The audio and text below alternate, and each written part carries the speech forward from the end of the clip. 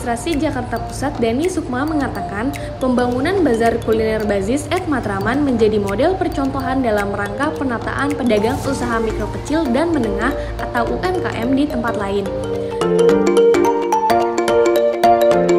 Dani menambahkan bahwa konsep saling menguntungkan dengan para pedagang adalah hal yang utama dalam pembangunan bazar kuliner Bazis at Matraman ini. Dani juga berharap kepada para pedagang dan pelanggan agar secara bersama-sama dapat menjaga keindahan dan kenyamanan kawasan bazar kuliner Bazis at Matraman ini. Kita berharap silakan dipelihara kawasan yang sudah sangat bagus ini.